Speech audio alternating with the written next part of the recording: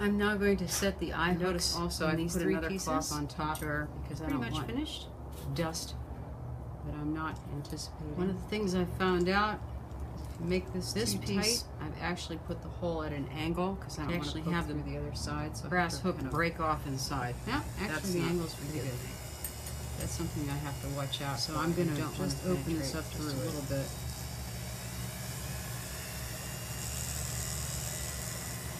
And also check the depth. Open it up a bit. I want just enough tension so that it's a tight fit, Let me see if it's ready. but not so tight that the eye hook is going to break off. I'll do the same with the dragon.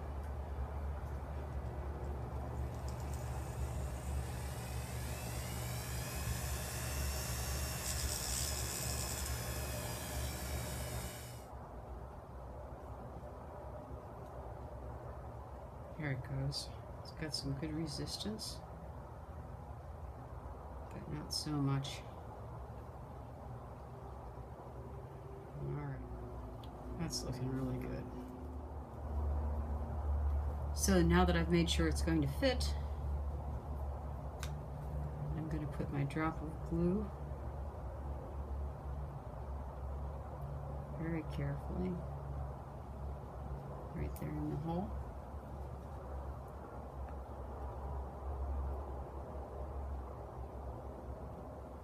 And since the screw is going, the eye hook is going to displace the glue.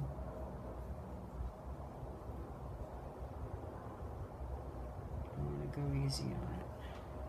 Don't put too much. Okay, there we go. But here are the pieces.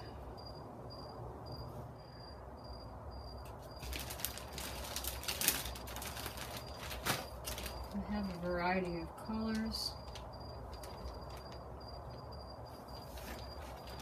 Here's the black.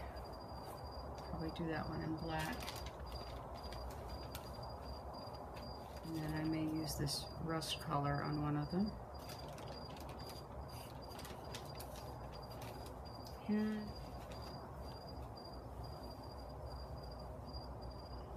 I'm now in the final stage with these three pieces. Um, I have to string them on the cord, which is a, a round poly cord, very strong. And I use this to make my double bead closure that I showed you in another video.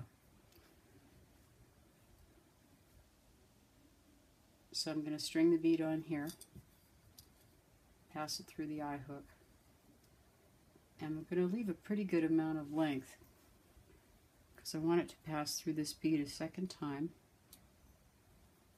without coming out the other side, but being really close.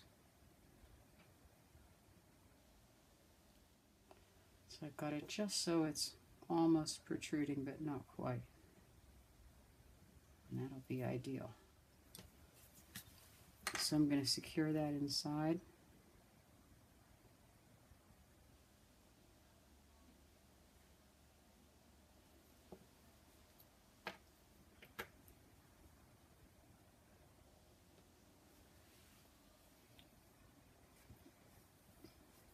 I've now prepared both sides of this. And I'm going to take my double beads. This is going to go through both beads on both sides.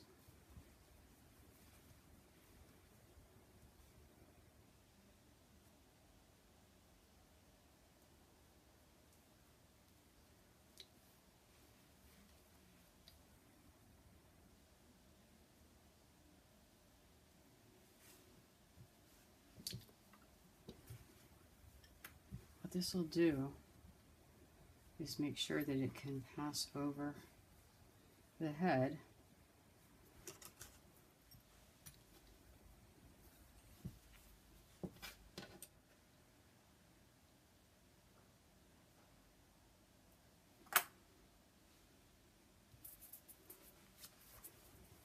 And there we go.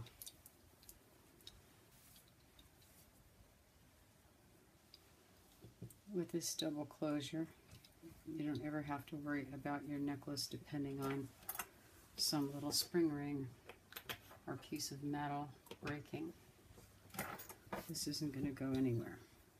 So you simply open it up, like that, put it over your head, pull the knots to the, the desired length, and then you make your adjustments. You might want it to be like a choker, or you might want it longer, like that.